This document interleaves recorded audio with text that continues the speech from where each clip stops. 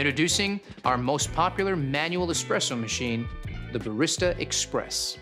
Grind, dose, and extract all in one. Let's unbox and take a look at the various included parts. Lay the box on its side and use the flap to slide the machine out. You'll find a set of accessories that all have a part to play. When assembling the Barista Express, you'll find a useful tray that can be used to store accessories such as filter baskets, burr brush, or cleaning tools.